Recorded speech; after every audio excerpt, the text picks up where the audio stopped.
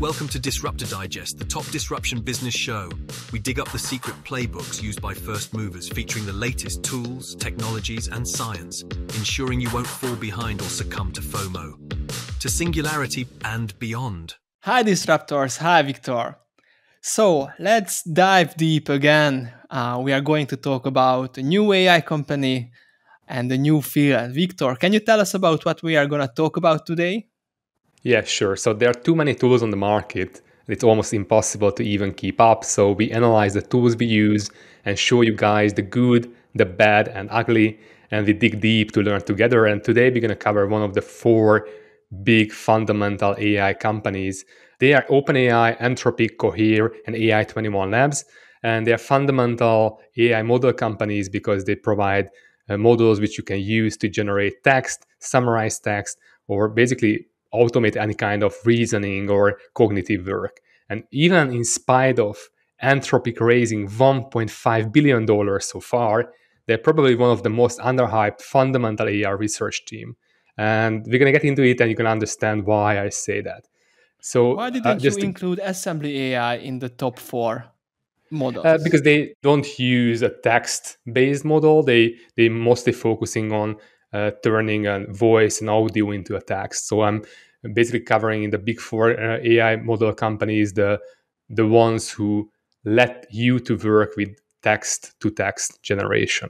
For example, ChatGPT, you just write an instruction and you get back text, and that's the same for Anthropic, the Cohere, and AI21 Labs as well. And Assembly AI is mainly focusing on a, uh, audio uh, content.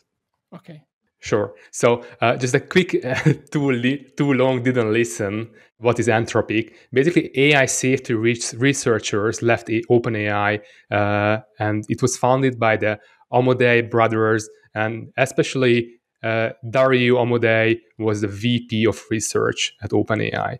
And they left OpenAI because. What, what is a safety researcher doing at AI? Can you tell us about that? Yeah, sure. So they basically explore uh, the per- parameter of what's happening when you release these kind of models because it can have lots of uh, consequences which you mainly not keeping in mind because there are some obvious ones like uh, someone is trying to make a bomb right? It's it's quite obvious that you want to cover that that you want to prevent harm and those kind of things but there are subtle things like let's say you want uh, your ai model to be helpful but it can be harmful as well uh, if you're not taking care because let's say someone is uh, feeling depressed and the AI model is not realizing it and it's not referring the patient or the, the, the, the, user to a doctor, it can be harmful, even unintentionally. So basically, a lot of interesting things going on on the perimeter, and AI safety research is making sure that if you release a model, it is safe and it's not causing harm.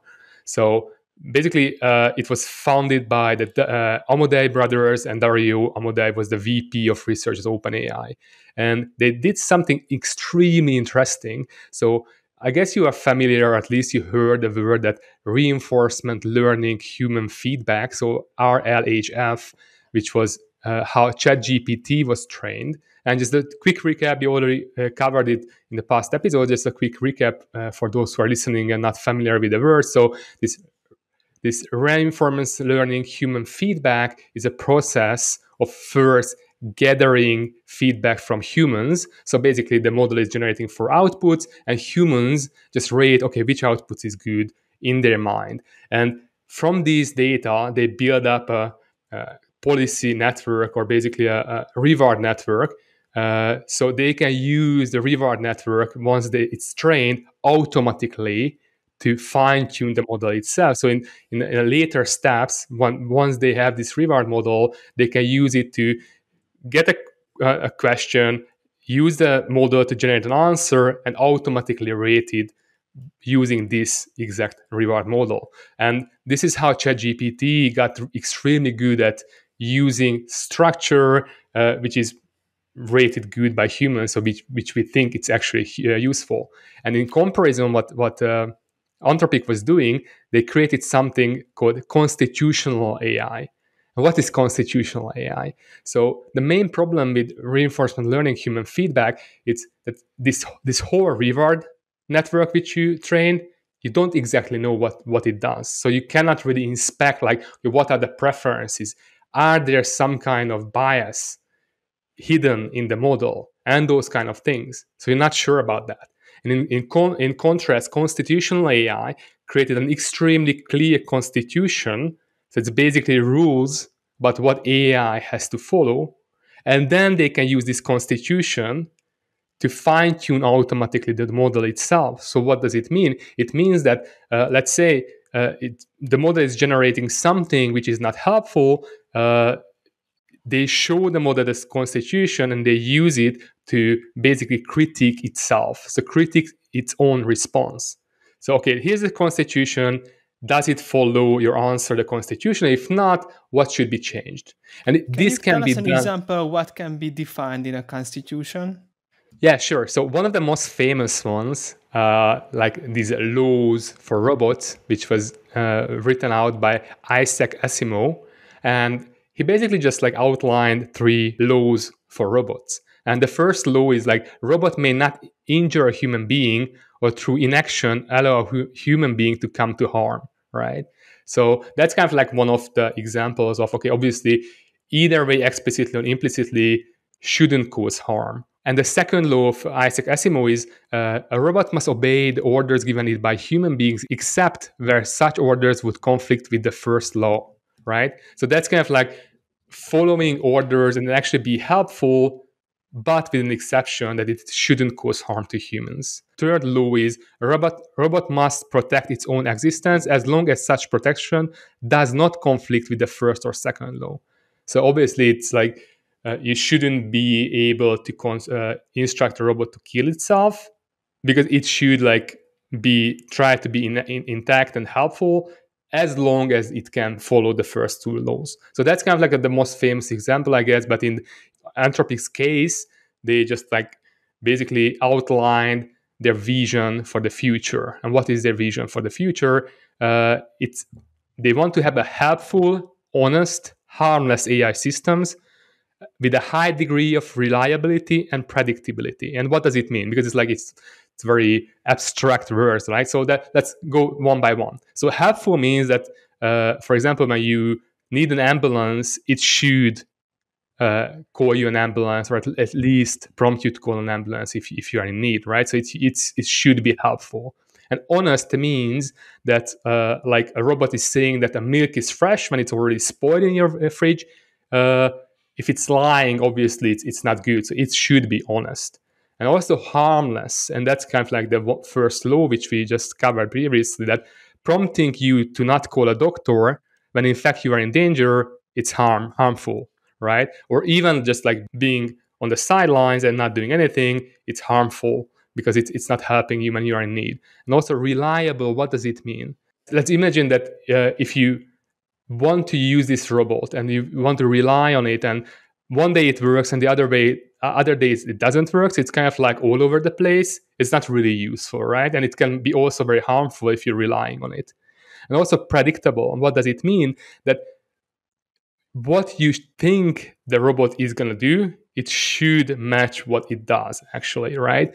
So let's say it's like when you just instruct your robot to water the plants but it's just instead that's turning on the tv it's not ex- extremely reliable right? So it's not really useful as well. So this is kind of like the vision they have in mind that they want to want to create a model which is actually you can inspect and see okay does it work the way i think it does right? And the constitution okay, just stop here for a second. What do you think uh, the ChatGPT we have used, used it for several hundreds of hours. Uh, yeah so what do you think about ChatGPT, ChatGPT on these dimensions helpful honest harmless uh, reliable and predictable? Uh, just to comparison before we dive into anthropic's model. Yeah sure. So generally i think it's quite aligned in the same way.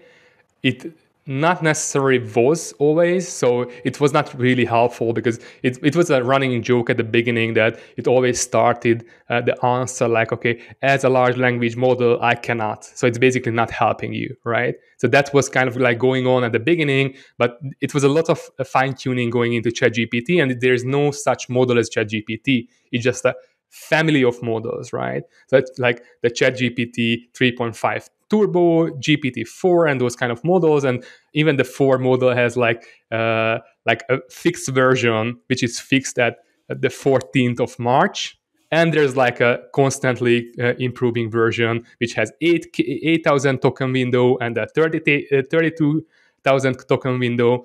So it's kind of like uh, it's it's not not a one mo- not, not not one single model. That's what I, am trying to come to, and and it's improving. So that's that's the main point that uh, even ChatGPT is improving a lot. But the main difference is not really how well aligned it is because it's evaluated obviously on these metrics as well. But using hu- only human feedback and no constitution, it's kind of like you don't know what it learns from humans. So it can like just give you an example like um, in one of the technical papers uh, of, of the GPT family, uh, it actually turns out that as humans, just like giving feedback preferences, even unintentionally, these models start to come to realize that they are actually confined and they want to survive. So the instinct of survive, survival is actually can be leaked into these models with unintentionally, right? So just by humans giving feedback, and the, the, more capable, the bigger the models, the effect is bigger. So these kind of things, what it, it's actually learning implicitly. So it's not like humans telling that okay, this model should be concerned about survival. It's it's actually just like by deducting somehow from human preferences. So that's the big difference between only using human feedback or versus using uh, constitution because with constitution it's quite clear right? So because you just fine tune on a set of constitution and you can actually compare them. So it's, it's not like one model again. It's like you can create different models and evaluate it how helpful is it down the line. And one of the neat things of constitution using constitution is actually harder to kind of like leak the prompts or hack the prompts and those kind of things. So they can be in a sense more aligned with the whoever is, is, is using it to create a, a service. So let's say, I'll give you an example.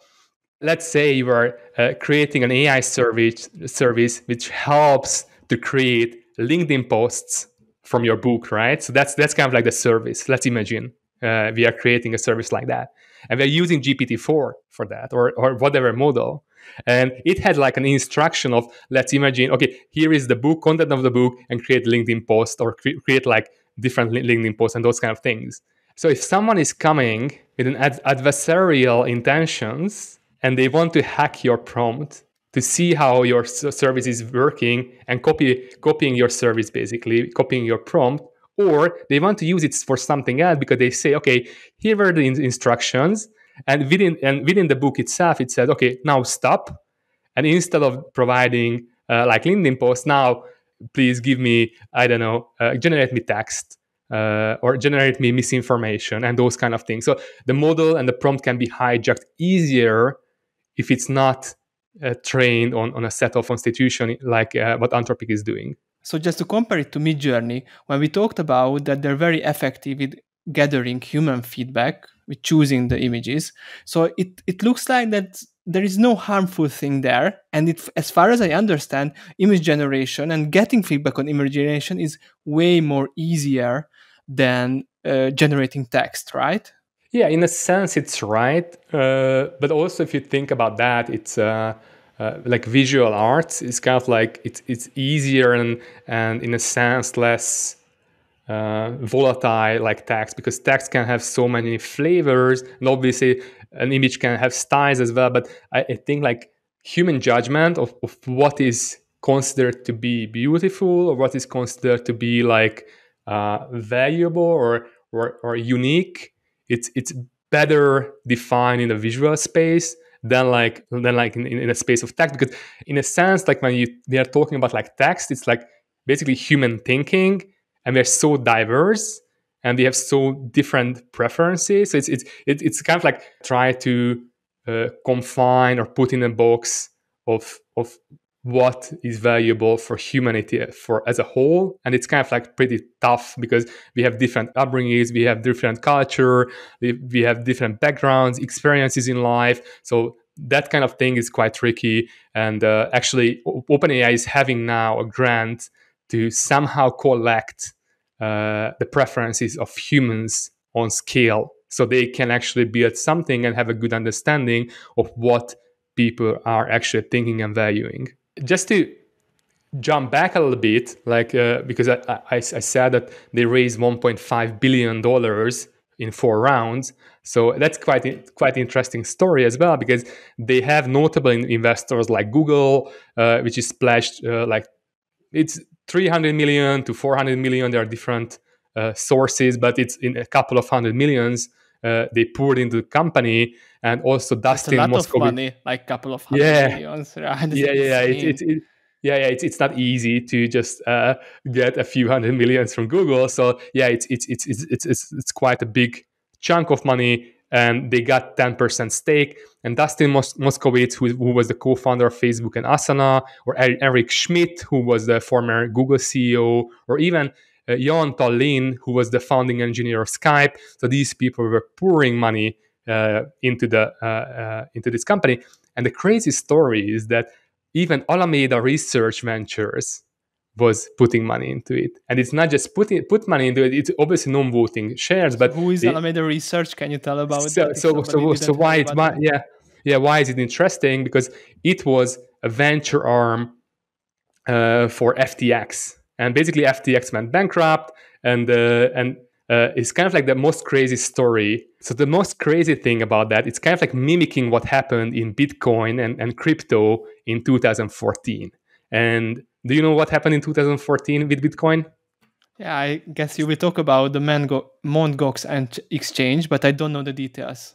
Yeah, right. So, so Mt. Gox was uh, uh, founded in 2010, and at one point they were handling 70, 70% of BTC transactions. So two third, more than two thirds of transaction of BTC was handled through this exchange.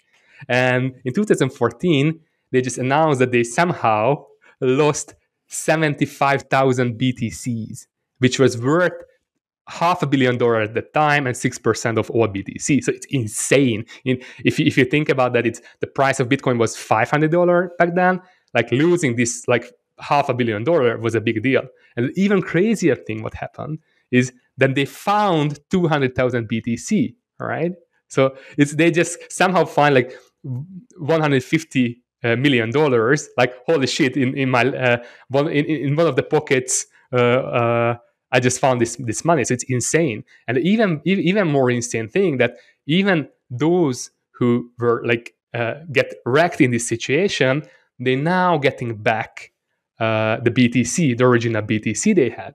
And it's in, the value of this money is actually increased to five billion dollars. So if you think about that it's altogether they lost like on, on face value they lost 500 million. But now even with just uh, recovering the fraction of it they have 5 billion right? So 10 times more. It's insane. And that's going to happen most probably with alameda research ventures sharing the company as well that during the bankruptcy uh, it's going to be sold off. And the crazy thing is they are valued now at 4.1 billion dollars the wow. the, uh, the Anthropic company. And we don't know what was the valuation when they put the money in, and we don't know what's going to be the valuation when they sell the shares. So maybe this is the craziest thing that maybe everyone who who gets wrecked in FTX and Alameda situation, maybe they're gonna get back more money than they think just based on this one bet they made. And also there are other bets as well. So for example, Do Not Pay, who is backed by Andreessen Horowitz, who is a legal, uh, scalable legal application, something like that. So they had Alameda Research has stakes as well as there, and also I guess some other startups. So maybe the portfolio will worth a lot.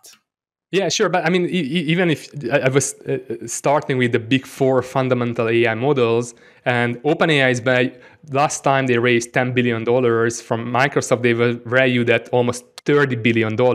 If you think about that, it's like, it's insane. And uh, so, so even the growth trajectory and impact of the company uh, means that it can work quite a lot. And especially since they have a, um, they are very very explicit that they're gonna need and they're gonna raise five billion dollars more in the next two years.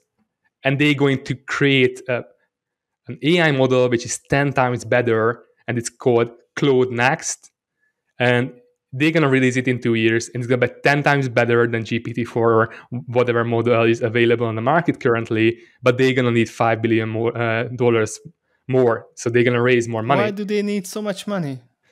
Uh, it's, it's insane. It's, it's you are spending so much time on compute. So when uh, uh, ChatGPT was released, OpenAI was losing 500 million dollars.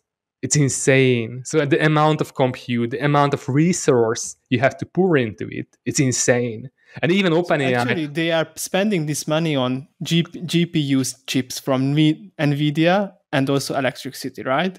Yeah, right, right. So basically, compute. Yes, that's that's quite right. And also, uh, also Sam Altman from OpenAI, the CEO of OpenAI, is also like privately saying that they're gonna need. So that's kind of like like a, a rumor. So I I'm not sure whether it's true or not, but I can imagine it's it's being true. So Sam Altman is basically saying that they're gonna need a hundred billion dollars to get to the point where they have an AGI.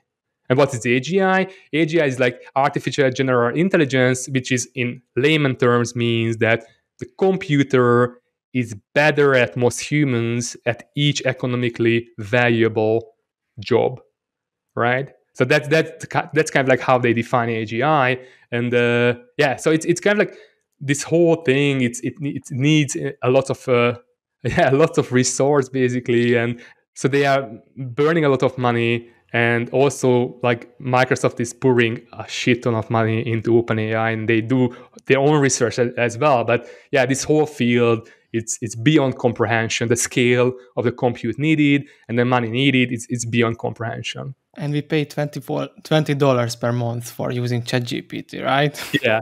Yeah right. So let me let, let, let, let, yeah let, let, let me share my screen or, or, let me put an image on the screen and what you see is basically what is the monthly traffic uh, for ChatGPT is uh, Bing, Google Bard, uh, OpenAI's developer portal, and Poe.com. So, and what you can see is insane. And this is like the number of people who are using it every single day, right? So I'm just sharing my screen, and those who are listening and don't see my screen, what you can see on my screen is the one of the days. So June 5th, 5th of June, right? And you can see that ChatGPT has 63 million users that day. And that's like only the ChatGPT interface, right? So people are going there and chatting with ChatGPT. And Bing.com, the whole Bing.com, is having only 40 million users right? So that's insane. Already, ChatGPT suppressed Bing.com by 50%, right? Because Bing is uh, like a whole, whole, whole, yeah, whole, whole search engine and everything. It's insane, right? It's insane. The search and, engine of one of the biggest technology companies in the world, which has been existing at least 20 years, right? Right. And they are working extremely hard to eat the cake of Google, basically, right? And the more insane thing, and this is kind of like a tie back what we talked about in the AI episode, the general AI episode, like this is the strategic position of Google that Bard has only 5 million users that day. So even though Google released publicly, right, everyone can use Bard now, right? And they released a new model. And if you looked at the latest developer conference, it was quite funny because AI was AI, AI, AI, AI, AI. So every, everything was AI, and AI was thought like a thousand times and it was a great joke. Surprisingly people are using it. And also what's in, in, interesting that platform.openai.com which is basically the developer portal for openai. So those developers are using openai to, as a backend. That's exactly the same amount of people who are using bard. So developers on one hand who are using openai is using as much as everyone out there who is using Google Bard chatbot, like everyday people, right? And there's, I, I just put there the Poe.com, which is um, done by the Quora guys. Uh, it has 2.5 million. So it's, it's half of what Google and half of what the platform OpenAI.com is doing. And why is this interesting? It's extremely interesting because Google would do something which is useful, right? So let's assume they they just copy paste ChatGPT and it's helping with all your answers and you don't have to search. That's the big problem. So that's the trade-off. If they create something truly useful, they're eating away their own own own market in, in the search uh, field, right? So that's that's the issue that ChatGPT is is actually useful and Google Bard is fancy, it's good, it's free, so you don't have to pay like 20 bucks a month for it. But come on, it's not not as many people are using it. And why is that? So I just made this uh, quick um, graphic and I'm going to share it as well. And I'm going to tell it for those who are just listening. So what you see here is in 2004, if you look at the home pages of Yahoo and if you look at the home pages of Google, what you see, Yahoo is like crowded and and it's it's like a, a, a Christmas tree. It has all the information. It has all the all, all, the articles. It has all the news. It everything is flashy. Everything is colorful. It's like a big fucking mess. And if you compare it to Google, Google has basically just a search bar, and that's it, and end of story. Obviously, it has some uh, additional text like images, videos, and those kind of things. But the main thing is that Google is extremely simple, and Yahoo is, is, is cluttered, right? And fast forward 20 years, and 2023, if you look at Google and on Google you search for what is the best computer f- to use for home office, what do you see on the first page? Ads, ads, ads. You have to click hmm. 30 times. You have to spend two hours.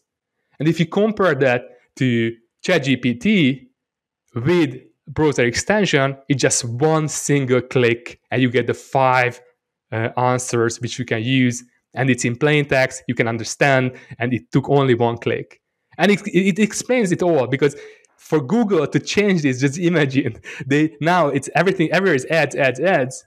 If, the, if they start to eat into it, what's going to happen?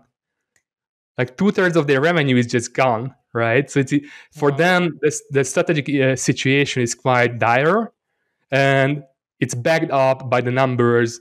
Uh, what I just showed before. That yeah, Google Bard is fancy. Uh, I tried it.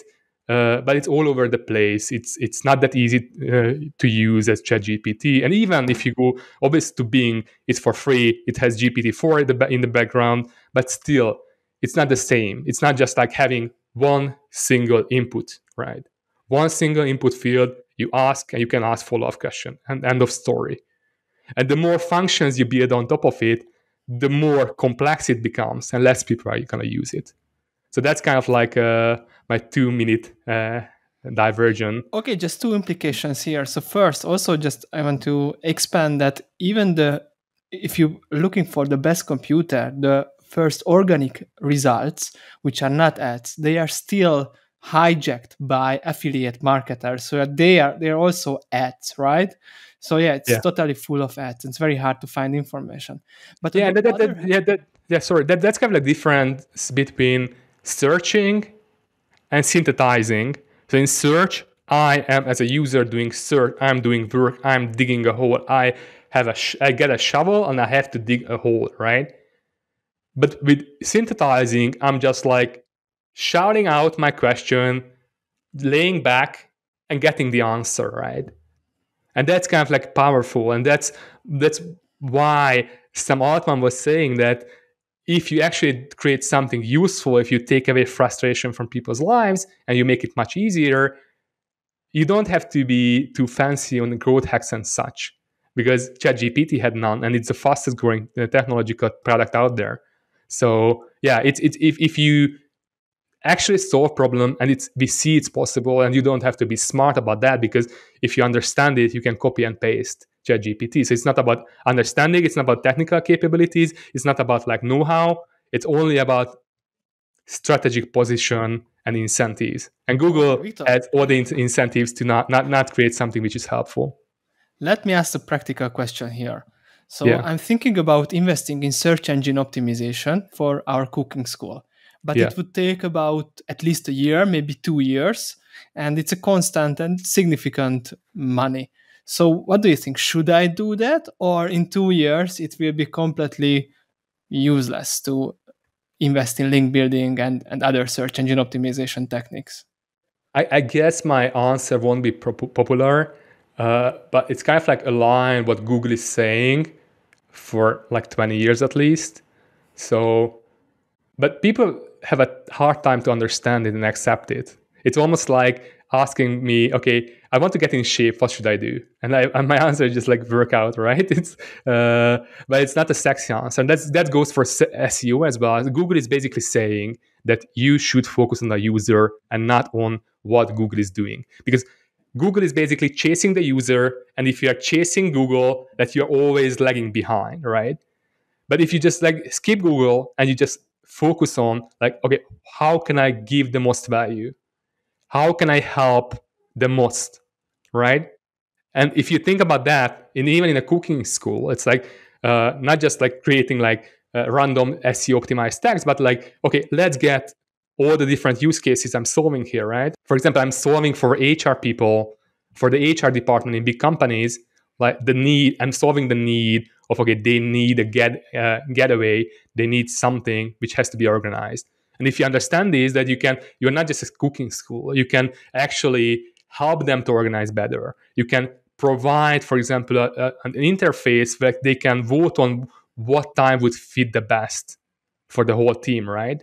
So if you try to make their job easier and if you try to make them successful, that's kind of like the way forward. And it's going to be useful in the future as well because no matter what is the interface, no matter it's like it's either a like ChatGPT, Google, what it doesn't matter because if you understand the problems you are solving and it, you make it extremely uh, easy and you think through the whole process, like even before going to the cooking school and after because it's like even like collecting feedback right? That's like what went good what went bad but so what did you learn? So it's like even creating them like personalized feedback it's extremely good and useful. I have a advice here that uh, i heard from Chase Dimond who is genius email marketing expert and, and in content marketing.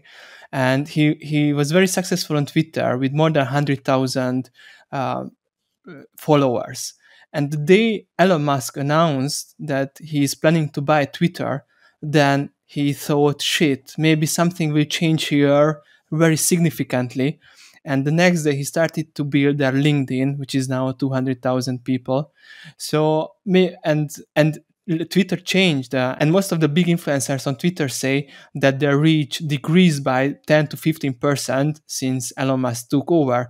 So I guess uh, for a small business like us, would be advisable to explore other channels, right? Yeah, yeah sure. It's like uh, first of all, own your channel and it's email, right? So if you have email and you have relationship with uh, HR people, with, with big companies, with recruitment companies or whatnot, if you have personal relationships, it's trans- transcending any kind of medium. So it doesn't matter. Like uh, at the end of the day, you're gonna use Twitter or or, or LinkedIn or, or Google for that matter. So like having relationships, having a, your own email list is kind of like a must. And obviously diversify and test. And if there's a new channel like TikTok, mess around, right? Don't build every don't put all the all the eggs in one basket right? So that's kind of like a, a good advice that yeah obviously if you have don't give too much value or uh, let's say you just like creating affiliate uh, articles yeah most probably you're gonna be that. Your your, your project doesn't really have a good and bright future to be honest. But if you solving problems like in your case uh, you're solving the problem of of people who are having fun, uh, organizing them into one place and whatnot, and organizing like uh, uh, whether someone is having uh, some allergy or such. And if you can do that, and they don't have to be, uh, deal with it because you just provide like a link. Okay, share this link with everyone. We're gonna push them. If they are not like uh, not filling it out, we're gonna push them. So you can kind of like create a situation where you are kind of like a savior of because normally it would be a big headache and you just like actually taking taking off everything from their shoulders and that's a good situation to be in. Okay victor let's go back to anthropic our yeah sure. today. Yeah sure. So why why why why did i say that they're most probably one of the most underhyped a company out there? Because obviously if you go on, on twitter you see like uh, openai is doing this openai is doing that or microsoft is doing this or that on google but anthropic uh, is already out achieving everyone on the market because they have a model which is called Claude, and they have like a small one which is Claude Instant, which is kind of like an analogy of ChatGPT 3.5 Turbo, and they also have Claude Plus, which is kind of like a GPT-4 ish model, and they also have a 100k Claude. And what does it mean? It it it has a hundred thousand token context window, and what does it mean? It means that actually you can feel and you can push one 120 pages into the prompt itself. So what does it mean? For example, for us, uh, if we have a podcast and we have a transcript, we, do, we cannot push the whole transcript in, into GPT-4 because it's even sometimes it's even longer than 8,000 tokens, which is like 10 pages. It can be more than that. So and we so have we to have cut it up in, in six Yeah. pages, six pieces, which is, which is really painful. Yeah, because it- yeah, it- and also like some context is missing there as well. So if you it's, it's not just like recursively doing on smaller batches and then aggregating it. There are sometimes at the first batch there's information which is relevant for the last batch, but it's lost, right? Because it everything is is is uh, processed individually in smaller pieces. So it's a pain in the fucking ass just like what just like what, what, whisper is doing is uh, openai is doing with whisper you can obviously upload a, a, a file but it can be 20 megabytes and it's a fucking pain in the ass because you have to ch- chunk it up you have to process it in- individually you have to concatenate it and, and so on it's, it's a pain in the ass and what's insanely good with Claude 100000 tokens it actually can you can feed into it 120 pages. So we feed into the whole transcript which we created, and we can just like ask questions like, okay, suggest me five titles for this episode, right? And we can even use a few shot example, like, okay, here are good title uh, podcast episode title examples. Here are five, and please, regarding this uh, transcript, provide me five more. And it's insane and you can use it to create linkedin posts you can use it to create uh, show notes and it's extremely good. And it's already available. So if you go to Poe.com you subscribe you get access to the 100000 uh, model. Uh, obviously it's limited so not unlimited uh, amount of interactions are allowed but you can get access and we use it and it's insane. And, and they So already they have API access. So if you want to build something with a 100,000 token model, you can, right? Right, but it's not public yet, so you have to kind of have it's it's, it's kind of like the like uh, what GPT four thirty two thousand token model is. Like you can apply to get GPT four, which has like the third of the hundred thousand, so, so it has basically forty pages. So there is a model GPT four model which can handle forty pages already, but it's kind of like yeah, it's beta listed, so you have to get access to it. So I, I have access to it, but it's like it's not common. It's quite rare to to get access to to that model. So that's kind of like uh, intriguing that they already released it. So it's not kind of like uh, some vaporware bullshit uh, fake door test on their part. It's like actually you can use it. So you can go to Poe.com, you pay twenty dollars, and you can use it. And we use it, and it's insane. Do you want to? Uh, provide us like a because I, I know- that you made some comparisons. Obviously, I use it as well. So we kind of like use Parallel GPT-4 and the Claude models. So both of us are using it. But I I, I, I guess you you created some more structured way of compar- comparing GPT-4 to Claude. And can you just share what what did you find? Sure. Okay. So I wanted to understand when should you switch to Claude if you're already using ChatGPT because it's uh, our use case. And uh, in the past episodes, we talked about several use cases of ChatGPT. For example, uh, generating LinkedIn posts, tweets, or prompts for images. And I wanted to explore Anthropic's model Claude uh, on these dimensions. So first, uh, start with the context window uh, in the comparison. So currently, what is accessible is the 8,000 token window for uh, GPT-4. This is basically t- 10, 10 pages uh, in a GPT-4 case, and in Claude 100 token 100,000, it's 120. So it's kind of like 10 times more basically what you can fit into now into Claude. Yeah, so this, this 8000 is very good for creative tasks. For example, coming up with names for our podcast that we did, or these short tweets, even LinkedIn posts, and also having a God prompt, which is basically doing a small research on the most important mental models and do an actual task. So this 8000 uh, token window is great. But you mentioned if you want to summarize a podcast, then it becomes almost impossible. Even if you cut it in six parts and feed it into ChatGPT, the rolling context window will start to cut out the first parts. So it's not good for long, long documents at all.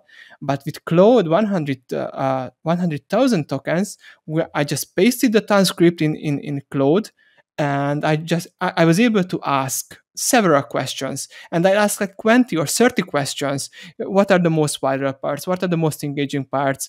Uh, write link, write me LinkedIn post, and it and it didn't uh, forget the original prompt, which was still long. It's like 80, 85,000 characters, which is one one and a half hour when we when we speak.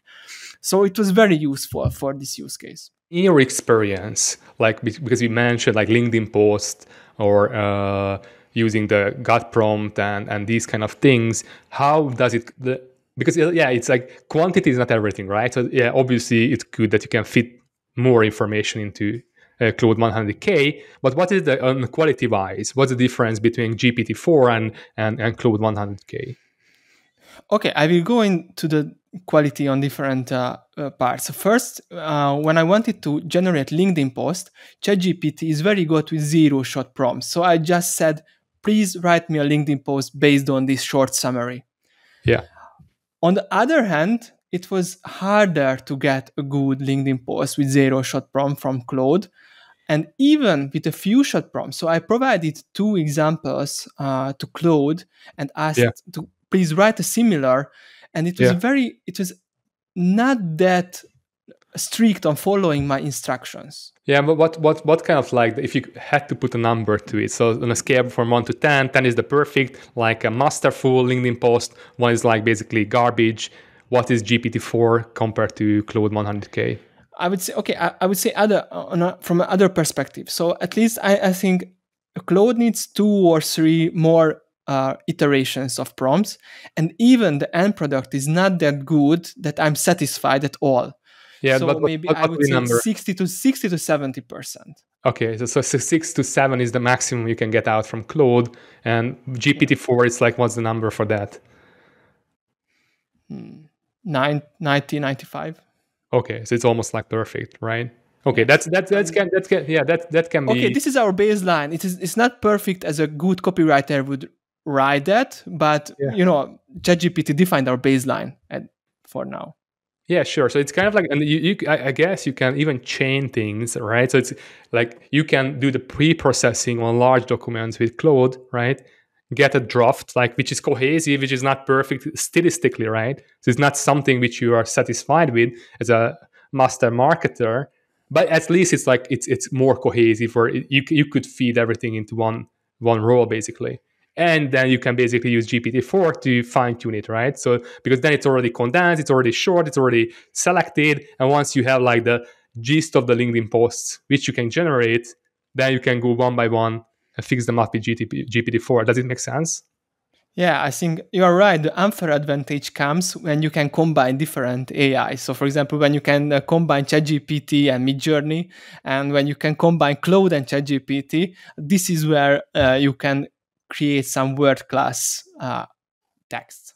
Yeah, this is extremely important what you just uh, covered that if you know the upside and downside of these tools, right, then you can get the most out of them. And it's I, I, my my biggest problem is that uh, people are too obsessed with one single solution, one single model, as one single prompt, one single whatnot, right?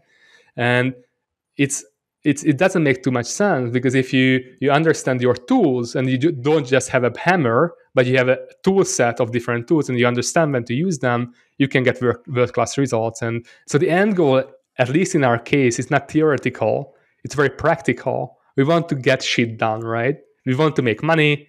We want to save time. We want to scale things. So we are dealing with business of ai not the intellectual of AI. So in this case, uh, if we understand these tools, and that's why we use them, we can we can get more value out of them. And that's what I urge the dear listeners to do as well. That please don't think that one just one tool will solve all your problems. It, it shouldn't. There are so many tools, and that's why we are covering them. That's why we are doing these deep dives. That you know the good, the bad, and the ugly of each of the tools which we have, and you can use. Okay, next one, naming a podcast. So this is a short text and a creative one, and I think this is a huge difference. I started with. Uh, instructions, several instructions, uh, and also a few shot prompts. And ChatGPT was way much better from the get-go. It was it used alliteration without asking them. It, the, the, names were more catchy, but also Claude was very close. So, for example, for our podcast, it it mentioned Disrupt, disruptors daily, which is something ChatGPT mentioned in the past as well. But still, I feel, and, and now it's it's just a subjective feeling that Claude wasn't that creative. I have an interesting experience. I'm going to share it with you. Okay. So it's okay. like two minutes. Good. Victor is diverging for two minutes. So again. yeah, again. So in, in 2021, end of 2021, GPT-3 was released and I was playing with it and I tried to copy my coach. So I basically fed into like example question answers, five of them, and then I asked my question and it provided meaningful answer, helping how to ease the pain of my uh, baby who has tummy ache. So that was the use case, and it worked wonderfully. It even could copy without like without any specific instruction. It could copy like uh, double spaces at the end of each sentence. So it was nine out of ten, I would say. So it was almost perfect. It was really good, and then two years pass by and all these models get fine tuned on what is a good answer. So if you're asking for an answer, what what what is the human feedback on that? What what makes an answer, an answer a good answer? So giving advice, hedging the advice, and those kind of things. Like okay, yeah, obviously this is why your tummy can uh, hurt, and obviously see a doctor. So that's kind of like the structure of it. And what happened is like two years ago, these models, all the models, like GPT-3 and up to all the, all the models, they were like a, a SUV. They, they, you could like off-road with them, right? And in the last two years, they worked a lot on like putting uh, the whole, all the models on a rail. So basically, just keep them on a rail.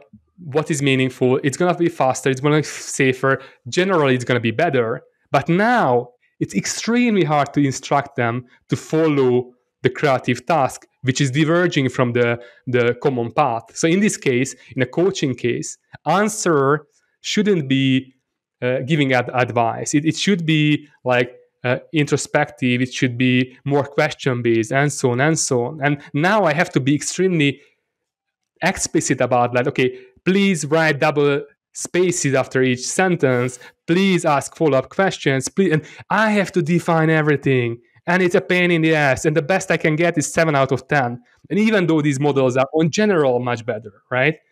It, it, it's much, much more valuable, but now they are very narrow. So in a sense, they get, le- get less creative because now answering has so much bias. And I guess with LinkedIn as well. So uh, I guess if you just ask for two years ago, if you provide LinkedIn uh, posts, they, which means that you just provide like five good examples. So these are five good examples of uh, LinkedIn posts. And please write me a new one based on like this information. Two years ago, I guess it worked much better because it has le- had less bias about like what is the good, what is like a med- median, what is the median of the LinkedIn posts, right? Because now if you ask LinkedIn post, it has very much, it has a lot, lot of bias. If you ask for an answer, it is very biased, right? So it has a lot of bias about like the different modalities of the answers. And that's kind of like the trade-off which happened in the last two years. And that's, uh, that's something I just wanted to share. Uh, so if you're frustrated about that, uh, my current solution is be extremely explicit about what you need. And the other hack as well is just try to stay away, away from the biased expression. So in this case, try not to say even uh, LinkedIn post. So these are good text examples I need, right? So these are good examples. Write me a good another good one. Without mentioning that that LinkedIn. The same for Twitter. So not you're not saying like I need a tweet because it's very biased about like what is a, a me, me, median tweet, which is like I want, don't want to say shitty, but in a sense it's shitty. That is if you have a specific goal, that in that sense it's shitty. So then just like write like okay these are good texts I I need and please provide me one more uh, based on these criteria. Okay, let's go back to comparing ChatGPT and Claude. So next one is generating prompts for Midjourney to generate AI images. And what yeah. do you think, Victor? Which would be the better, ChatGPT or Claude, or maybe the final verdict will be something else? I, I think it's GPT-4 because it's kind of like have stronger reasoning cap- capabilities. So uh, my, my guess is that the 100k context window is not the same as the Claude Plus, which is kind of like in comparison with GPT-4. So the analogy is GPT-4 and Claude Plus, and GPT Instant and GPT 100K with ChatGPT 3.5. So I, I, guess when we're comparing uh, the 100K Claude to GPT-4, it's not fair because it's almost like comparing 3.5 ChatGPT to, to GPT-4. Okay, Victor, I think the final answer will surprise you. So I will, uh, I will share you a few images. If you are uh, listening to this podcast, I will uh, describe what we are, what we can see on the screen. But also, you can click on disruptordigest.com and quickly uh, find this part in the video. So first, I asked um, uh, Midjourney to generate Greek kitchens, and I just just put imagine Greek kitchen, nothing else.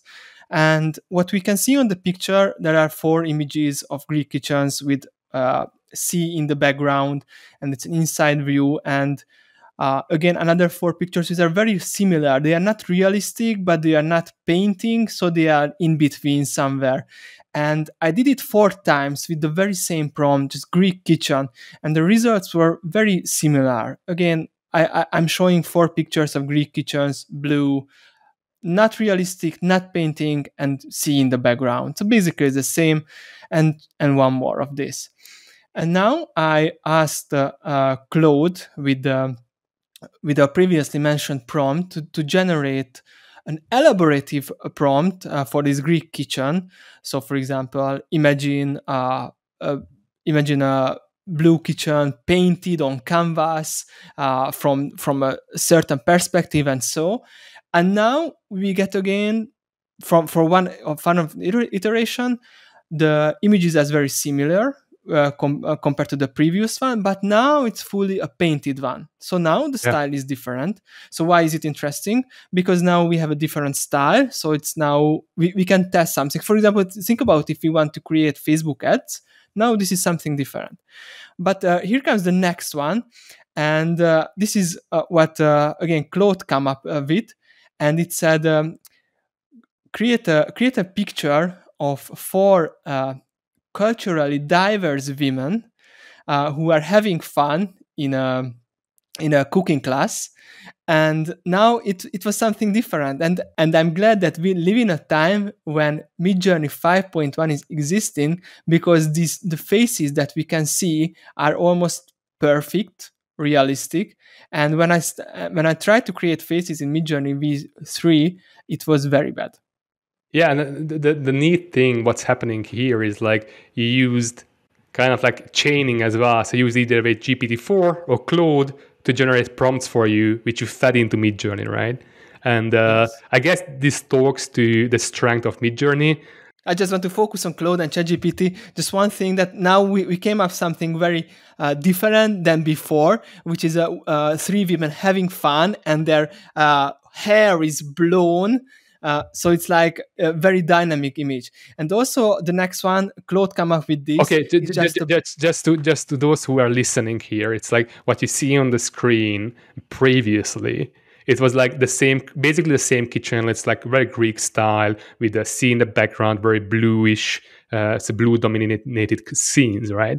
And then what Claude did is like created a dynamic scene of people enjoying themselves. And then it also came up with even more dynamism. So not just smiling, but also the hair is tossed in the air. So the, the, the shot is like it would cost a lot of money. And I, I imagine that someone is if someone had to shoot this shot, it would take a lot of tries, a lot of time, and uh, it's insane that it's possible now to to have this dynamic setting, and it all, was generated with Claude. It's, it, it's insane. Yeah, hiring the talent, booking the studio, uh, having yeah. studio lights, uh, multiple multiple people on the crew, and of course the photographer. I guess at least five or ten k in the minimum, maybe up to 20, 30 k uh, a, day for creating photos like this. Yeah, Okay, so the next one, okay, this is something Claude come up with. These are very plain and boring photos of bread and a bucket of flowers on the table, which is not good for the purpose. But just want to show you that that now creatively started to diverge. Yeah. And uh, okay, I did the did the very same with ChatGPT, and now it came up with uh, uh, this picture, which is olive oils and tomatoes on a plate, and uh, and some people are picking them. So again, it's a very different approach. On the next page, we can see Greek kitchens, but their style is very different because it's more of a orange and red um, type, and because ChatGPT was focusing on the ground, which is terracotta, which is a classic Mediterranean uh, yeah, flooring. Building material yes. So now if you maybe if if if you're an interior designer and you want to see another different creative di- directions of, of a kitchen of a scene for a film or, or something like that then now it's a different perspective. And the last two ones again uh, similar prompt but it's a what you can see is a modern greek kitchen uh, with more of a modern style. And, and it's now it's, it's very photorealistic and the, and the last one is again a blue kitchen uh, but it's again focusing because ChatGPT um, included something about the floor. The picture is focusing on the floor, uh, so and and it's photorealistic and still blue, but it's very different from the previous one. Yeah, that's, so just to make make clear make clear the whole process for the listeners. You had a prompt, and the pro, uh, the original prompt was what? Greek kitchen. Okay, so that was the original prompt. And then yes. you kind of like had two different flows. You used Claude, you also used ChatGPT uh, GPT-4, right? And what what was the prompt there? So how did you, how did you explore creatively and moved away from uh, just having a Greek kitchen? So we have a prompt which is created by Samson Vowles, and this is a long prompt uh, that starts with like this: I want to, I want you to act as a prompt engineer. You will help me write prompts for an AI art generator called Midjourney, and later it will be data that please define a camera lens, please define a perspective, uh, color color styles, color references, position elements, and so. So uh, basically, you outsource the creative process to the language models like GPT and Claude. Yeah. So so actually, the, this prompt uh, was used uh, to kind of like generate like from Greek Kitchen generate something which is more creative, right? And only this prompt was used. Yes. Yeah, this can be sh- uh, shared in the show notes actually, and uh, is part of also the God prompt plugin which we have. So if you have God prompt plugin in ChatGPT, so if you are a subscriber, you can use it. And what's happening? It realizes that you want to generate an image, and it's kind of like instructing ChatGPT to use this prompt to generate better uh, prompts for Midjourney. Okay, so my impression about Claude and ChatGPT for this use case is that uh, you can get more if you combine them. So you so you make the same process on both, and you feed Midjourney uh, the prompt, the, the final prompts that was generated by ChatGPT and by Claude. And in my case, uh, my goal is to create very different uh, images so I can test them on Facebook with which will get a higher click-through rate. So I think combining them is the unfair advantage here. Again. Yeah, that that that that sounds awesome because once again, I just want to highlight highlight this that you had to have zero background basically here because you just had Greek Kitchen, you copy pasted this prompt, but you don't even have to copy paste because it should just use the God prompt plugin. Then you just like write Greek Kitchen, and it's generating for you like variations for Midjourney, and you can copy the same prompt and using Claude, and it's, it's kind of like using a different uh, creative process, kind of like using a, another creative person. And once again, you get different results. Awesome. So in, in my mind, those pictures was 10 out of 10, each of them. So they were insane. And you get insane results without having zero background. And only you, only thing you know is like you want to have a Greek kitchen. So that's insane. That's that's uh, that's I think if you understand this, you are much further ahead than anyone in your in your field. Okay, just to final, just to finish this comparison, just a few technical things that uh, I think uh, Claude uh, is a little bit faster, so you will get answers a little bit faster, but the generally the speed is the same as GPT-4 and and Claude. Okay, so my impression was that Claude Plus is kind of like the same as GPT-4 in both terms of uh, quality. is a little bit lagging behind, but kind of like the same. But on speed wise, it's the same as GPT-4. And Claude Instant and Instant 100K, those are similar in speed and quality to ChatGPT 3.5. So yeah, you in, in, in an Instant 100K uh, model for Claude, you can fit in 100k tokens, but it's it has lesser abilities than the Claude Plus model. That's similarly like GPT-4 and GPT 3.5 Turbo. It's like yeah, Turbo is quicker, it's cheaper, but uh, I mean it's much less capable on logical thinking than than the GPT-4 model. Okay, besides these use cases, I also tried writing poems and fiction, but the th- but the overall impression is the same. So first one Claude is not following instructions closely. And one more thing, Victor. Yeah, sure. So it's, it's kind of like the takeaway. So if you just like want to tr- try to summarize what is Claude 100K good for, the name is even Claude Instant 100K. So that's kind of like the equivalent of ChatGPT 3.5 Turbo, but with a bigger uh, context window. So the similarly, if you use the God prompt or try to use the God prompt in ChatGPT 3.5, it won't follow it. It won't be as good with complex logical reasoning and instruction following. So that's the same for Claude 100K as well. So it's not that good uh, with God prompt uh, thing, and it's not that good with uh, fiction writing or poem writing because complexity, when complexity increases, you should use or aim for better or bigger models like Claude Plus or GPT-4. So that's kind of like the big, big, big takeaway. Okay, so we talked about Anthropic's products, let's have a big picture view of the company. Yeah, sure. Let me share my screen. I'm also going to describe for those who, who are just listening. So, what you see is the business model canvas for Anthropic.com. As, as we discussed at the beginning, it was founded by AI researchers. So if you look at the key activities, R&D is very important. In the first one and a half years, actually, they only did research and development. And then they started to commercialize.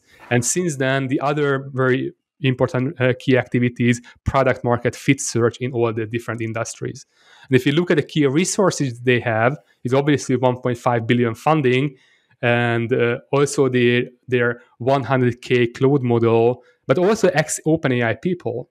And uh, their CEO is VP was VP of research uh, at OpenAI. So uh, these people have all the knowledge, all the know-how, all the proper uh, uh, frameworks to create something which is useful. And I guess the Claude 100K is, is, is, a telltale of that, that they are the ones uh, the only ones which uh, who, who, provide this this kind of model already. And uh, the interesting thing is they have key partners like Google, and Google was investing, but also they are partnering with Google to provide compute because Google is good with providing cloud services, right? But they also partnered with Zoom, for example. So Zoom Ventures invested money uh, just a few few uh, months back, and Zoom is good actually for sales as well right? Actually, Zoom has a, a solution for providing communication for customer service agents, and they are going to integrate uh, anthropic models to, in one way, help the users to get answers more relevant, faster, more personalized answers, and also have the customer service agents to be more productive. So that's that's neat. And also put it there. I'm, I'm not sure about that. I just put it there that, uh, for example, a company like Scale.com which is aggregating the different AI providers and providing services to enterprise, is something something where they can provide value as well. Like, okay, here's our model, and you can sell our model if someone is in need. So, uh, key proposition. So, what do they provide? On one hand, they provide safe models. They provide 100k pages of uh, 100k tokens. So basically, 120 pages of text, and Claude Next, what they are working on, is 10 times better. It's going to be 10 times better than GPT-4. So that's kind of like what is the key value proposition. And who are they providing this? So who are the customer segments? It's education, entertainment, government, intelligence, community, legal, entrepreneurs. So basically, as I said, they're trying to find, find product market fit and what kind of channels they use. They use Google Cloud, as I said. They use Zoom contract uh, contact center, which is kind of like the solution Zoom is providing for customer service agents. Uh, and mainly they communicate currently to API documents. Uh, their documents. So how, there's actually quite good documentation about the, how their uh, API works. And on on a white sticky notes, I, I provide additional uh, channels I think they should use or could use or will use in the future, most probably. So, for example, one of the big problems is finding for them as well finding product market fit but it's also the problem for the clients as well. So let's imagine you are you are having an enter- enterprise company and you don't know how to integrate something. So having a playground examples right? Or having a quiz where you answer questions about like okay what you are building then you can get back examples of how others are using the tools right? So helping people to figure out how to and what to integrate into, into their product as an AI tool could be extremely valuable. And also the how side, so how uh, Anthropic is helping developers could be YouTube ed- education as well, and integrating with tools, AI tools like LangChain and, and the similar tools, and also into no-code tools as well. So helping no-code tools providers to integrate, easily integrate uh, the Anthropic uh, model features. So that's kind of like the big overview. And also on the cost side, there's a fixed cost of wages and a variable cost of compute. And that's what we discussed already. That can be extremely uh, expensive. And on the revenue side, it's very easy pay per use. So as much as you use, you pay for that, and it's quite similarly priced uh, priced to to OpenAI. And what they don't have, or at least I, I I wasn't reading about that. Maybe they have it, but most probably they're gonna have, in, have in the future. So that's why I put it on a white sticky note. Is the Foundry dedicated privacy instances. So just uh, I, I, just talked to I just talked to uh, a lawyer who's working for an international law, uh, law firm, and for example, they paid. I, I guess this the pricing is starting at eight hundred thousand dollars per year, and then you can get dedicated instances. So in OpenAI's case, right? And why is it good? Because obviously it's privacy pre- uh, preserving. They can use clients' data and so on and so on, which is paramount and, and, and a must have for a legal company. And the, and this is what uh, OpenAI is calling Foundry. And this is the, the gist of it is basically dedicated privacy instances. So if they don't provide it, they will provide it most probably, or they should provide it because these big companies uh, can easily pay uh, a million dollar a year because it's it's nothing compared to the additional value it can bring or the additional capabilities it can uh, unlock. So this is kind of like the big overview of what is the strategic uh, business model canvas for the company. Great, thank you, Victor. Yeah. So okay, uh, let's move on. So let, let, let, us get to the next uh, part. Like, okay, what? Because we already discussed that they are looking for product market fit and I guess the listeners want to know as well, like, okay, what can I use it now for, right? And we already uh, covered like uh, long form content generation, editing, and translation. So just like generating a whole book, or edit a long manuscript, or uh, coherently translating whole books, training materials for enterprise as well. So what's what's we already discussed that uh, if you chunk up a big piece and you process it uh, by one by one, you kind of kind of lose the coherence between the pieces. And it, it's already working. You can already try it. It's quite good, but obviously it has limitations. Like uh, this 100k model is based on the instant uh, model class, which is fast but less capable cognitively. Uh, it ha- it can also be used for extended conversation role playing. Uh, it's like almost like a what Victor, just one more thing. What do you think? Is it possible for uh, Claude that we feed the most important, most interesting, wild, or engaging parts of our first eight episodes, and it will write a book for us? I don't know. We have page to, book based. We, we have to try. I I'm, I mean the big big uh, limitation currently is that we don't have API access only through Poe.com, and it's neat that they have 100k context, but kind of like the li- the answer is limited. So if we ask for like the whole book, I guess it won't fill out the whole 100,000 token limits. So we should be so so so, so my, my, currently our our real limitation in to the test is is just like we don't have API access. But as soon as we're gonna have API access, definitely that's something we we're gonna try to just like try to generate as much as as possible and see what the out, uh, output is going to look like.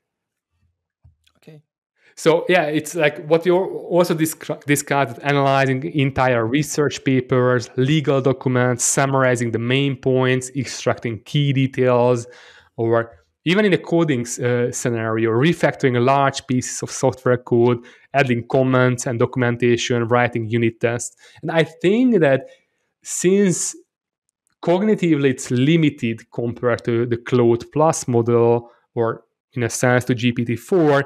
I think like generating automatically generating documentation from code would be better suited than writing code itself. So, so code writing is quite complex compared to just like writing documentation about like okay what what's happening, what is this code uh, piece of code is doing because it's it's quite sequential. It's quite like there is a code, it has to be explained.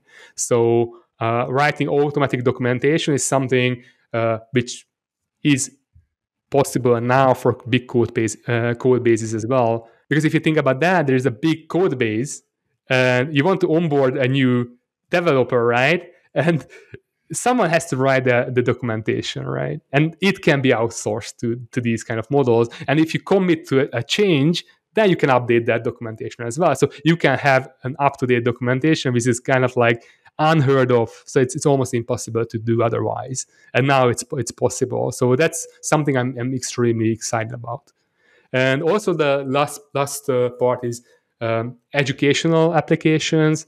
So that's kind of like the same as we discussed with the book one that we have to have API access, but if you have API access possible, it's it's, it's going to be possible to generate entire course curriculums uh, and and the neat thing is like we can feed into so much data. So it's like we can feed into uh, textbooks we can summary of textbooks summary of uh, guidelines summaries of i don't know. So we can feed in lots of information uh, and even relevant context as well like okay who are the st- uh, students we are generating this for? So this can be generated even student by student basis. So you can get your own specific curriculum and someone else is getting their specific curriculum.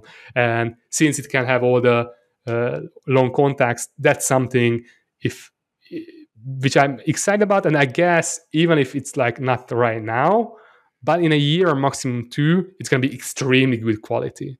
So even though now it's like limited with this instant model of, of like the similar to ChatGPT 3.5 Turbo, uh, the same thing with Claude Instant even though it's limited cognitively, it's going to be better, and and uh, and this is something I'm I think it's it's quite strong.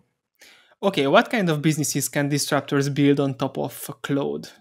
Okay, so let's that, that's one of the favorite parts of mine to discuss business ideas, right? And give you give you some food uh, food for thought.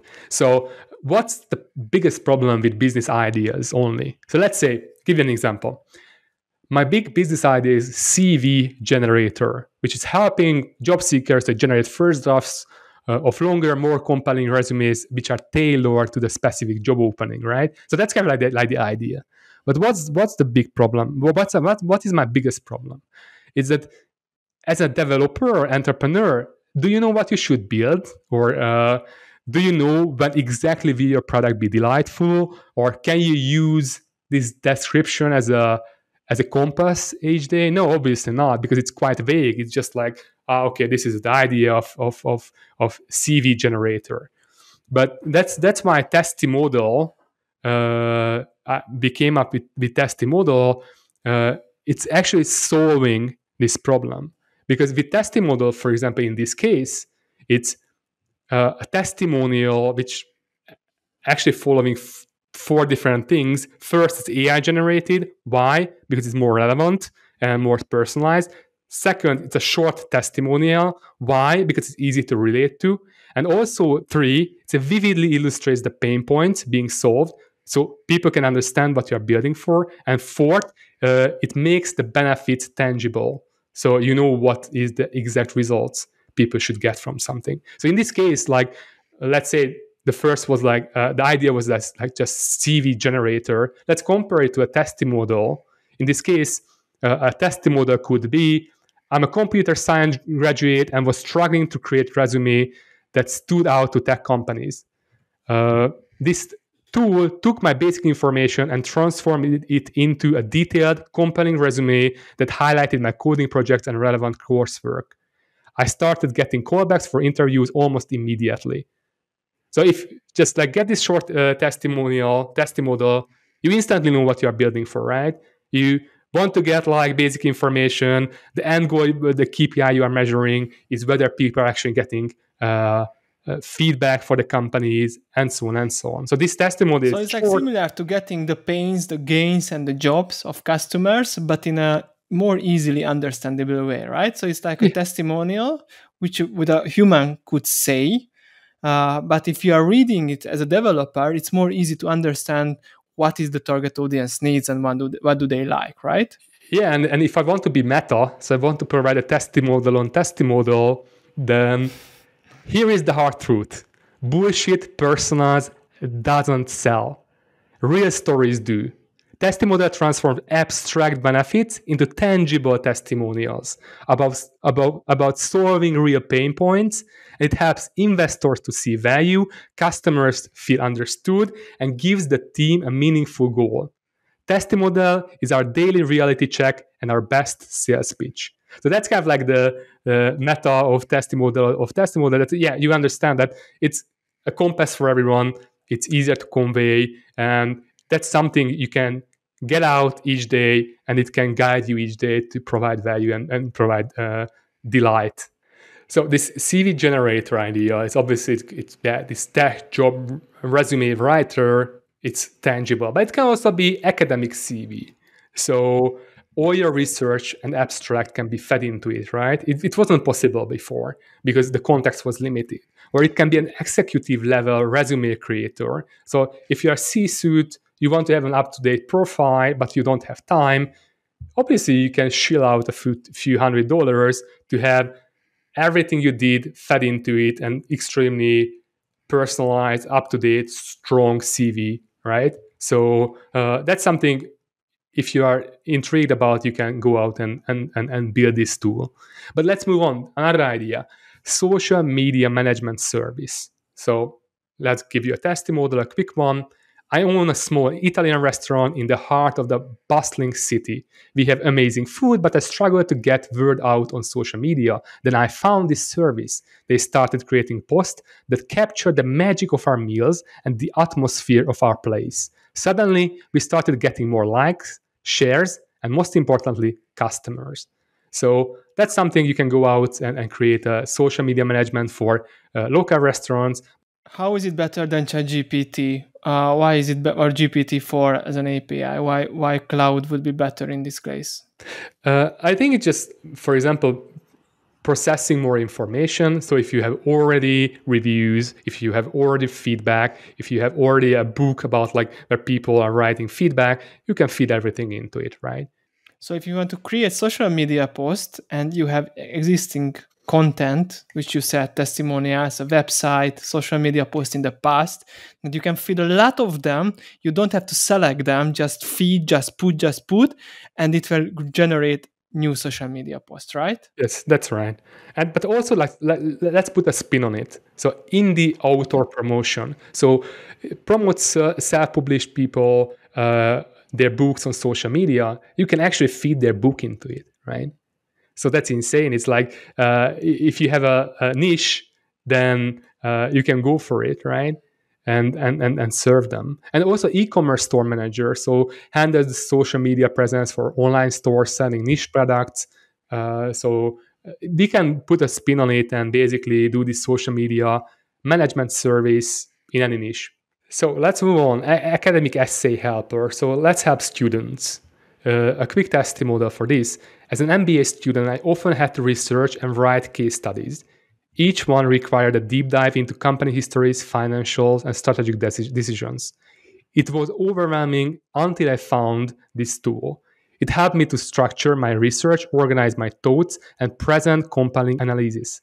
My case studies went from being a source of stress to a source of pride, and I received high praise from my professors for my in depth analysis and clear presentations. And you may think that this, this is quite a niche, but I mean, a lot of MBA students are paying hundreds of thousands of dollars uh, just to get this, this education. So this may sound like extremely niche, but this is lucrative if you just focus on them.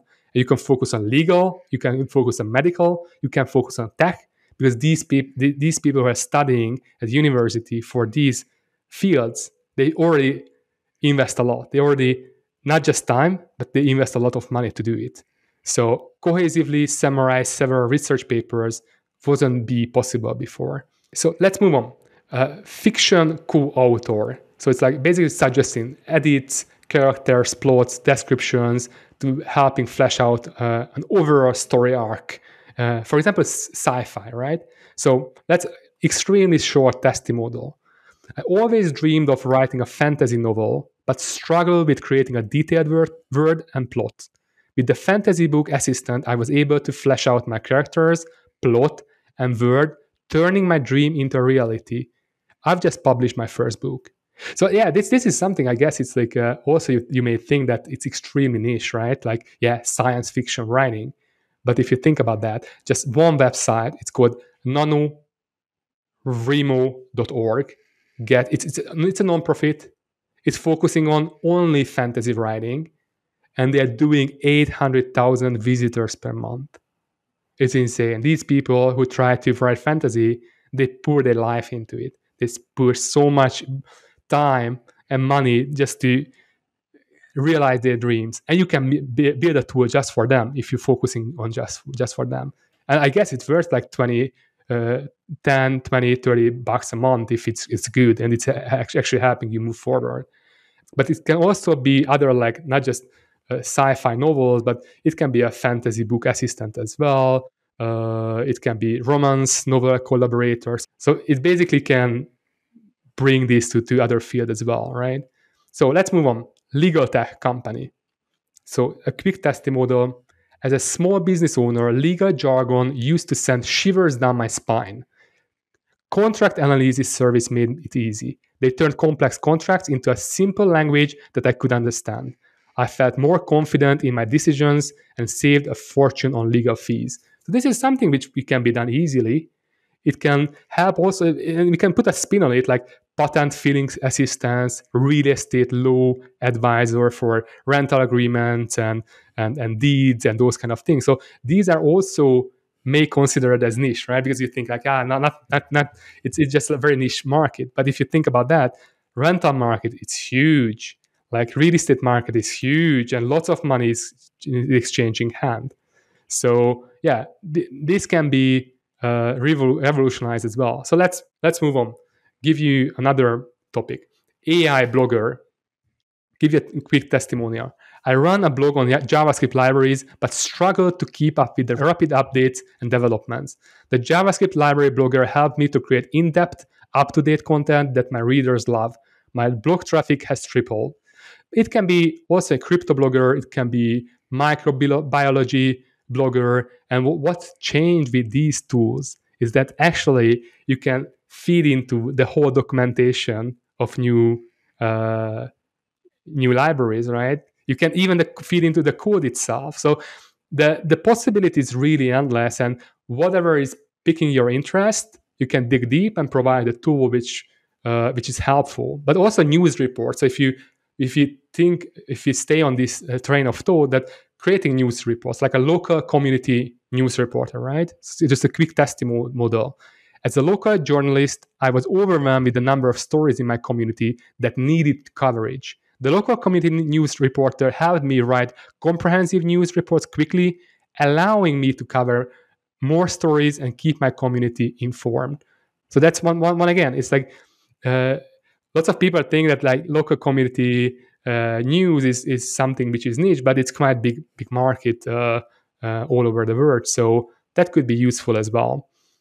Or product descriptions as well, uh, just like writing Kickstarter project descriptions, luxury real estate listing describer describers uh, and those kind of things uh, it's it's easy to put a spin on it and create these tools also just staying on the language and, and tutoring side it's um, let's say a quick testimonial again i'm a business professional frequently traveling to spain i need to improve my spanish but traditional language courses were too general the Spanish tutor for business professionals gave me specific language practice for my business meetings and negotiations.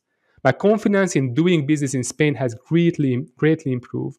So that's one again. It's like the big languages outside English, uh, which can be targeted and, and niche down, like just for example Spanish for business uh, professionals. But it can be Mandarin tutor for travelers or French tutor for students as well. So if you're an entrepreneur, this is the best time to be alive. And the same goes of for STEM assistant. So it's like middle school math assistant, high school physics helper, or college biology study, study aid. That's the same, same same thing basically. And if we go to the enterprise, so what we covered now is basically what entrepreneurs can take on, but what can enterprise do or what can be done for the enterprise as, as a client. So digital therapist platform. So I struggled. So that's a testimonial. I struggled with insomnia for years. This platform sleep therapy advisor helped me understand the root of my sleep issues and provided practical relaxation techniques. I'm finally getting full nights of sleep again. It can be spinned uh, to stress management as well or PTSD counselor. So basically providing mental aid for your uh, employees, one of the best ROI thing ever. We're gonna get into what kind of uh, perks you can get if you work for Anthropic, but one of the best ones in my mind is they provide $500 a month for wellness. And they understand, so the company understands if you're in good spirit and health, then you are doing better job and better output. So, but also what we covered code refactoring service. So legacy code modernizer, Python refactoring service, game code optimizer. This is something which is quite common. Even with a legacy code base, thousands of people writing some code in, I don't know, COBOL or Fortran, and it has to be rewritten. And with these kind of tools where the token window is big, it's finally possible. Uh, corporate training is something with, with cybersecurity, sales training course can be fine tuned to each and every company because you can feed into the company, you can feed the sales script, and you can generate something which is specific for a company, and you can sell sell it to them. And you can also sell the service it, itself, so people are going through the course uh, themselves. Market research analysis. This is something we also covered and we do as well. We do lots of research. And what if now all the research can be fed into it? and it can make cohesive summaries. Coding tutor as well, so like Swift tutor for iOS development, Python tutor for da- data scientists, Re- React Native tutor for mobile app developers. So the possibility is really endless, I guess. And uh, uh, the final thing I just want to say uh, is that Zoom, as I said already, invested and they integrating them into the Zoom contact center. So this is not uh, out of reality, which we cover now. And uh, also Notion AI is built on top of Anthropic models as well. So and they also have a Juni learning uh, platform, a company which is basically helping coaching students, and it's they're covering different subjects, math, uh, critical reading, and and those and, and these kind of things. And it's already done, but it's quite general. So if you feel inspired, uh, I urge you to just like create something which is valuable for your niche, and you can niche down. Like you can create lots of value. Okay, and we also did a community around uh, Anthropic, and we found that, that Twitter is very strong with 100,000 followers. And when we and when they announced their most uh, recent uh, Claude model, then it reached more than 2 million people. So it's very strong. But also, but I didn't find any dedicated Facebook groups uh, who are focusing on Claude itself, while there are several fa- Facebook groups uh, fo- focusing on Midjourney and, and ChatGPT as well. I guess the main reason for that is it's already closed beta, the API access. So developers can't really access it now. The only way to access it either way through poe.com or through Slack. So you can uh, add their Slack bo- uh, bot and have a conversation, but that get kind of like niche.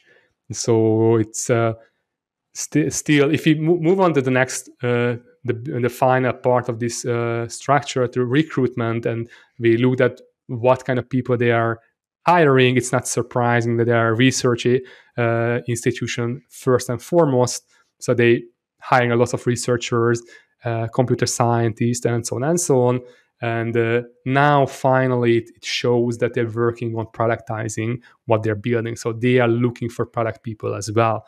And so it's, it's kind of like in the process of uh, gradually releasing what they build to the community and they are the very first step basically now so that's that may be the f- biggest reason why the community is not that strong and it also says and shows that most probably if you are into uh, community building if you are into developer edu- education if you are into uh, solution engineering for clients they're gonna need it. So even though if they may not have all these positions open now they're gonna need it for sure.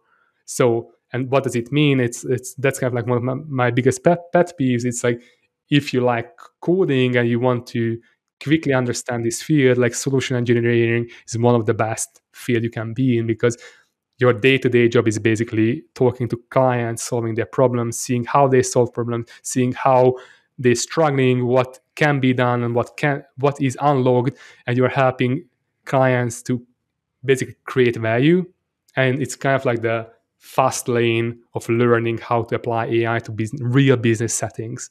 So, uh, as I said, obviously, uh, this $500 per month for Wellnest uh, st- stipends is, is something uh, which is which I didn't uh, come across before. So, I big kudos to them for that. but also, they, they they cover the usual. So they give equity, they sponsor a green card if you need it. So it's kind of like they have all the perks uh, others are pro- uh, providing as well. And I also found they are hiring recruiters, so it means they are growing fast. Yeah, yeah, yeah, and then they, they need, need operators as well. And uh, I didn't really see explicitly, but I guess they're gonna need security uh, expertise as well. Uh, and as I said, more people with product expertise, UX marketing, psychology, what we already discussed with Assembly AI is that they're focusing on onboarding people to the, to the API. So the, obviously Anthropic is an API first company as well. So they are going to need people who are dedicatedly optimizing the workflow for developers. And also dog fooding is my middle name. That's my pet peeve. And what is dog fooding, Victor?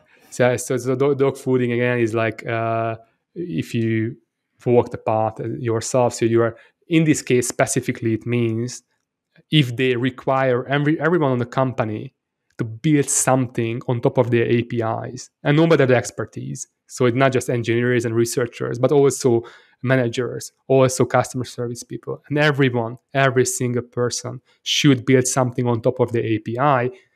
If they require that, so basically use their own product, what would it unlock? And that would be the single most impactful decision they could make because then every single issue is just bubbling up. If something is not working, it's not clear, uh, there or there are not no not enough tutorials for beginners. It, it, it's going to bubble up. So all, all these issues are going to bubble up and it's going to continuously bubble up and the needs like okay i try to use this for example for sci-fi uh, writing right and it's not good for that and it turns out it, it's gonna it, it, it's going to turn out because someone is trying to do that so research and development uh, is covered already and to finding uh, good product market fit and also providing an easy to onboard experience would be skyrocketed if they just like requiring dog fooding from every single person in the company. So that that would be the biggest, most impactful decision they could make. Okay, thank you very much, Victor, and thank you very much, Disruptors, for listening to us for this long time. You will find every important link and information in the show notes. Please go to disruptordigest.com. Victor, that's a wrap. Yeah, that's a wrap. Thank you for listening and see you guys. Thank you. Bye.